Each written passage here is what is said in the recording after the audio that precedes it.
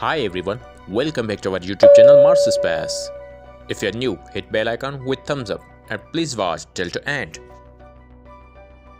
NASA's Curiosity rover acquired this raw image on Mars on 19 December 2022 Solar Martian Day 3326 and spotted a mysterious structure. Watch it in close-up. What is it?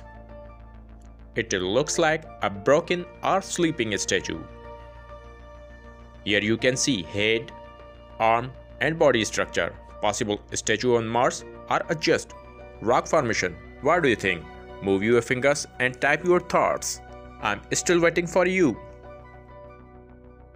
And now watch new pictures from Mars Perseverance rover. NASA's Mars Perseverance rover acquired this image using its right Mastcam Z. Mastcam Z is a pair of cameras located high on the rover's mast and captured these images on 7 February 2022, Sol 344.